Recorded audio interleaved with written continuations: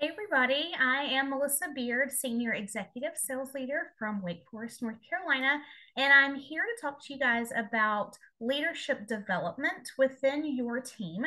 And this could be geared towards if you have already have some team coordinators and above. Um, you guys are sales leaders and above. So again, TCs, if you got some TCs on your team, but this is also could be something that you do um, to promote team coordinators. So I'm going to kind of talk to you about two different things. So let's just say you already have some established leaders on your team. You may have one TC, you may have several. Um, so I'm going to show you what my team does to promote the leadership development within our TCs and above. So I'm fortunate enough to have an upline who is my sister, Monica Kenton. She's a VPSL, and I'm a red jacket. And then I have a personal recruit who's also a red jacket as well. So the three of us work very closely together so that we can plan. We do monthly meetings together um, within our big team, Starfish. That's our umbrella team under Monica Kenton. And we meet, the three of us meet, we plan things, we uh, plan mega parties for our teams. But the biggest thing that I think has shifted is how we are supporting our existing leaders. So back in the fall, we had a fall retreat for leaders. It was leadership development. So we invited everyone on our team and we met, most of our team is on the East Coast. And so we met in the middle in Annapolis, Maryland, and we had a dozen, literally 12 people that were that came. And Monica led a weekend that was all about leadership development. What do you do? What are those income producing activities? Um, Jen and I were and, and I were there for support, but a lot of that was just building relationships with our leaders. And that was the most fun and probably the most important thing. So if you're a sales leader or above and you have yet to have a retreat, host one in 2023, even if it's just for a day, like a day retreat, even if there's just like two or three people that come, just do a get together to start building those relationships. That's really important as a leader to do with your current leaders so that you can empower them to come to you and you're seen as a just a friend um, that you guys can do life together like debbie says. So that was really impactful for our team of leaders. And then another thing that monica jen and i did we sat down together and we said to ourselves what are the tasks that we do to look at our team to look at our trm each week? So we collaborated and this took hours. So what you're getting ready to see, it's only like four or five Canvas slides, but you guys, it took a lot of work. Um, but it has really helped us to streamline the most important task for our leaders to do as they lead their team. And that's what we want them to do. We want to empower them to lead their team. Um, we are, of course, here as the senior leaders, but we want to make sure that they feel like they can coach and lead their teams as well. So we created four slides, and those are weekly tasks. So week one, two, three, four. These are the activities that team coordinators are recommended to do. And then sales leaders and above are recommended to do as well. So I'm going to share my screen so that you can see this. And then I'll tell you how we did the training and where we put this. So let's get into it here. Okay, so my screen is over here. I'm using dual screen, so I'm gonna look over here. So this was for team coordinators, sales leaders, and our executive sales leaders. These are leadership tasks. So super simple tasks each week to help you stay connected with your team. So here are the week one tasks. Let me zoom in a little bit. Okay, so we came up with for team coordinators, these are the things that would be the most impactful as a team coordinator to do with your team. Beginning of the month reflection time. So remember, this is week one. Look at your team's sub A sales from last month and send voice clips to those to recognize those with great sales. Um, so you can voice clip your highest seller um, all the way down. You can choose your top three, your top five, your top 10. You can send a voice clip to every person on your team, depending on your team size, of the people who were engaged that month. Whatever you want it to say, just a 30 second voice clip. So that's what we recommend the first week of every month that our team coordinators and above do. If you're a sales leader, we say do the above task plus reaching out to your inactive and dormant downlines and let them know their status for this month. Offer your support to them. So, again, sales leaders need to do the TC task and looking at their TRM to figuring out okay, who's about to be dormant or who's dormant this month, who's about to be inactive, just starting to kind of get that overview of the current month and reaching out early in the month to let them know how can I help you? Do you need help with your consultant ID number? Um, making sure that you are reaching out to them and then it's up to them, right, to either take you up on it or not to do anything. And that's okay too. But sales leaders and above, that's what we recommend for the week one. All right, moving on to week two tasks. So, again, this is the second week of every single month. This is what we recommend for team coordinators to do. Check in on your own party calendar. Book a new party by the 30th of this month, either Facebook Messenger, a home party, a vendor event, coffee meetup, a pop up. So, we are encouraging parties. We want our teams to party. Your personal business is the most important part of your Norwex business. It is the heartbeat of your longevity being of being here as a Norwex consultant. So we want team coordinators and above to do a pulse check.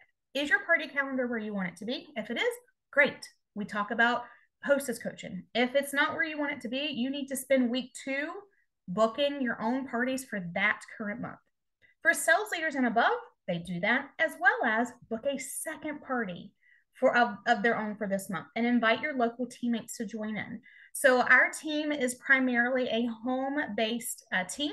That's what we are promoting because we were a home party business before COVID. And we have been training since last summer to encourage people to get back into this, and it's happening. Um, some people have jumped right in, some people have still have not done it yet. But that's the party's platform that we are um, encouraging people to utilize. So we want sales leaders to book a second party, and we're encouraging sales leaders and above to have the second party be their own in-home party at their house. And like we said, inviting their teammates to come and shadow them or just to collaborate, um, inviting people from vendor event contacts that they have met to come over to their house, local customers to come over and just have a relaxed time at your own house, because that shows how easy it is to have a party. And so, with those in home parties, your own personal party, um, we are encouraging them to really put a lot of their time and energy into getting bookings. So, that's what we do for week two. All right, week three task. So, third week of the month, this is what we have for team coordinators.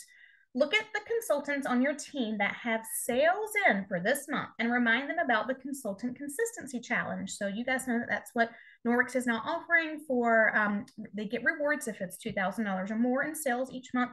So kind of looking to see who is close to that, who is halfway to 2000, who has parties scheduled. So we look at them and we ask our team coordinators to reach out to those people.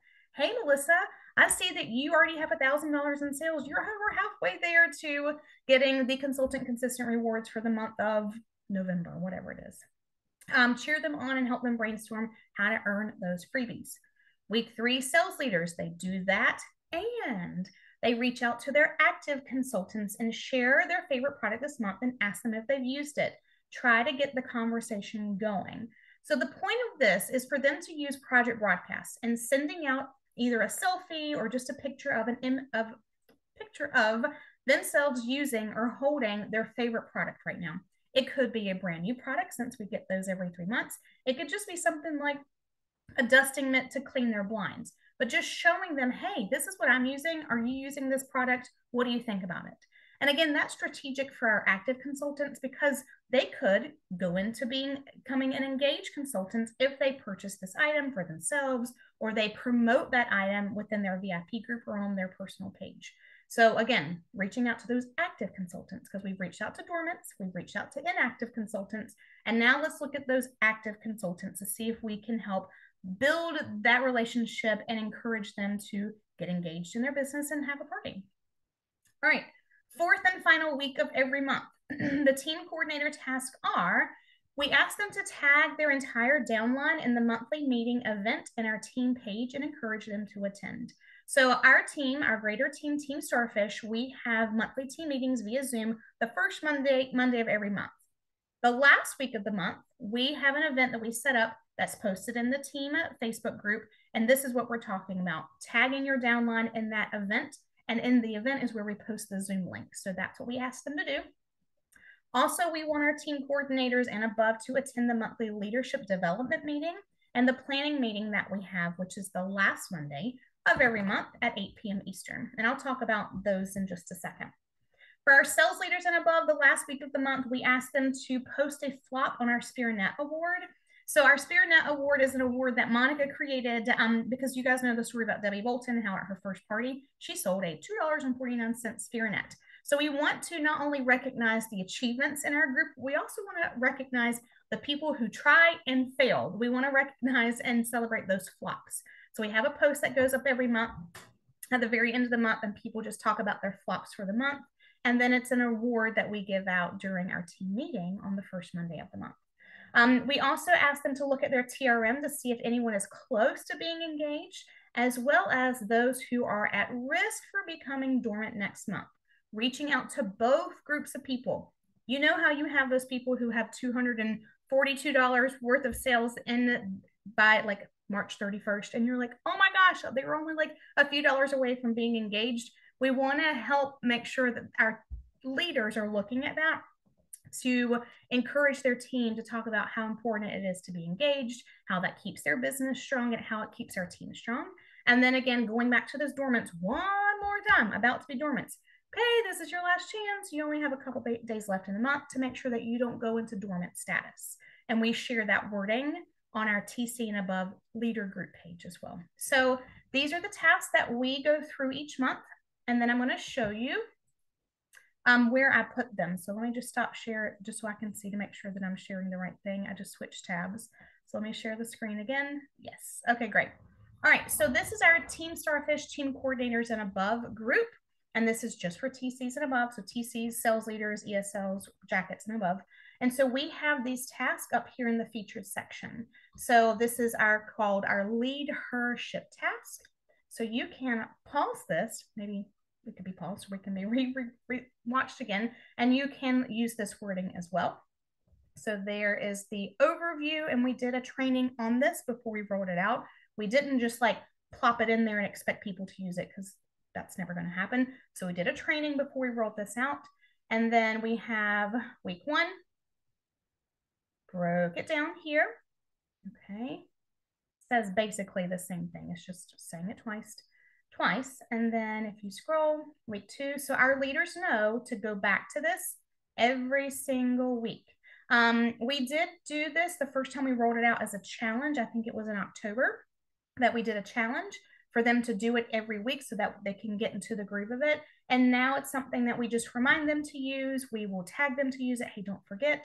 Um, I have a personal group chat with my personal leaders that I'll say, okay, you guys, it's week three. And I'm not so good at that all the time. So I'm actually going to set up a project broadcast campaign so that it rolls out every single week. Um, but just to show them, these are the simple tasks that you need to do in order to have a healthy organization. And we talk a lot to our team about how it doesn't really take that much time in order to be a leader. So, personally, my personal story is I was a classroom teacher um, most of my Norwex career until last year. So, I will be with Norwex for eight years in June. And so, last year, I was with Norwex for seven years up until the point that I left the classroom. So, I say to people all the time, I became a red jacket leader by working one hour per day on my Norwex personal business and then one hour a day growing my team or my leadership. So, or one hour a week actually is what I was doing. I do it one hour a day now. So if I can build a red jacket team by working two hours, one hour every day, one, two, three, four, five, that's five hours in my personal business, and about one hour on my team a week, six hours a week working Norwex with the blinders on on those income producing activities and these tasks, anybody can do that. Anybody can do that. And we can lead the horse to water, right? It's up to them to drink from it. So we are constantly reminding them to do this. We are setting the example for ourselves. Anytime I'm doing something to promote or support my team, um, I talk about it in my team page and my leader chat. Okay, you guys, like, don't forget to send out your dormant text to your personal group. These are for sales leaders and above. Um, team coordinators, you know, send your voice clips this week because most of our team, a lot of you guys probably too, work a full time job and I did up until last year, and now I'm doing full time Norwex, part time work, right? Um, so we want to make sure that we give them grace, but we also support them by saying, these are the things that we have in place. This is up to you to do that. So that's what we do for that. Um, a few other tasks that we do we do have these monthly leadership trainings. They're called Lead Her Ship. We heard that phrase oh gosh, I can't remember which jacket leader said that to us at a leadership chain training, but lead her ship, get it, lead her ship. We do monthly leadership trainings on the last Monday of every month from 8 to 8.30 p.m. So it's team coordinators and above. So Monica, Jen, and I, we rotate who's leading those leadership meetings and we have a topic, 30 minute leadership training. And then the last 30 minutes is we collaborate together with our team coordinators and above um, how to plan for our monthly meeting that's going to happen the following Monday, the first Monday of the month. So we do that every month and we come up with topics. Um, I just went over the weekly task. I personally have group coaching calls. I look at my TRM and as a sales leader and above, always look at your TRM and sort the three month sales. I look at people who are working. I want to run with the running. And so I'll look at my three month sales, I'll sort it from highest down, and I will handpick and select people that I offer group coaching calls. It's a three month series. I do them quarterly and it changes the people change because their three month sales have changed um, so i personally invite them to a monthly call where I have different topics and they get to spend an hour with me and some other consultants, sales consultants, TCs, sales leaders, and ESLs who are actively working the business. And we talk about different things. It, it changes every single every single month. And then I'll finish a group coaching call or series and then I'll reconvene. I'll look at my three month sales again and then I'll do another series um, for the next quarter and so forth and so on. And sometimes the topics are the same. Time, sometimes I ask them what do they want coaching on, but this is again in a group setting so that we are able to collaborate and have conversations and talk about the good, the bad, and the ugly. So that's something else I do. And then on a um, different but similar topic, um, just something that I do to support my team, which is called Team Waterworks. I come onto my team every single Monday night, almost without fail. It's typically, gosh, I have missed maybe a handful in the last three years that I've done this, but every Monday night at 8 8 o'clock p.m., I have something called Mondays with Melissa. It is a time where I come on live into my team page without fail for 15 minutes. I literally go on at 8 o'clock and then I stop at 8.15 and I can talk about anything that's relevant, things that are going on in the Norwex world. Um, I have sometimes I have like a little post-it note with like a topic that I want to talk about. But the wonderful thing is I make a post at 6:30 in the morning every single Monday morning with an inspirational quote that says, "Hey you guys, Mondays with Melissa is tonight. It's at 8 p.m. Eastern time. It's a 15-minute live Q&A session where you can ask me any questions that you have about your Norwex business. Big questions, small questions, it really doesn't matter. Just brain dump your questions here in the comments, and then I'll make sure that I go over them and I'll give you my two cents um, during Mondays with Melissa tonight at 8 p.m. So some weeks I will have one to five people asking questions and I will crank them out within that 15 minute time period and I'll just go through rapid fire explaining um, the answers to those. And then sometimes I have no one to a- ask a question, which is totally fine. I have the gift of gab. I'm always prepared to talk about something that I think would be valuable. When I'm doing my business, how I'm getting bookings, how I'm hostess coaching, how I'm getting parties, um, what am I doing in my VIP group, whatever it may be. Um, and then because those lives save within my Team Waterworks page, I go back and I change the topics and have those keywords hostess coaching, vendor events, uh, project broadcast, whatever it is. And then when I onboard new team members, I teach them how to use the search icon, and that's part of my onboarding. You can go and look at Mondays with Melissa and if you're looking for vendor event tips. I have tons of Mondays with Melissa training on vendor events. So it's kind of like working smarter, not harder. Um, and people will go back and reference them, and they're only 15 minutes. Nobody wants to listen to anything longer than 15 minutes. Speaking of, I think my time is up. So I hope this has been helpful to you guys. Um, let me know if you have any questions. Sorry that I couldn't be with y'all here live this morning. Um, but if you need um, further information or want to pick my brain, um, I will try to hop onto one of these in the near future. But thanks, Lynn, for asking me. And I hope this was helpful. Hope you guys have a great day.